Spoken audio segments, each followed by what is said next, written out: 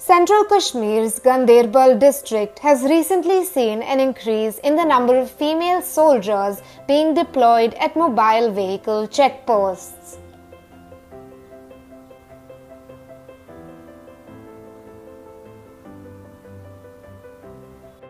Known as rifle women, they help bridge the gap between the locals and the forces in Ganderbal. They check women passengers in vehicles that pass the checkposts on the national highway.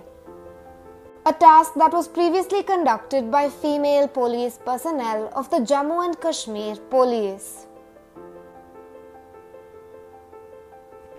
Myself rifle women Jyotsna मैं यहाँ पे Assam rifle के साथ diploid हूँ। हमारा main task ये है कि यहाँ पे जितने भी एंटी मिलिटेंट का टास्क परफॉर्म किए जाते हैं, उस दौरान महिलाओं को किसी तरह की कोई भी तकलीफ़ ना हो और वो हमारे साथ ज़्यादा कंफर्टेबल फील होती हैं और just because we are also ladies इसके वजह से उनको किसी तरह की कोई कठिनाई ना हो, हम इस बात का ख्याल रखते हैं और हमारे जितने भी यहाँ पे टास्क परफॉर्म किया जाता है, वहाँ पर हम, हमारी अहम भूमिका होती है, वहाँ पे हमारी मौजूदगी होती है।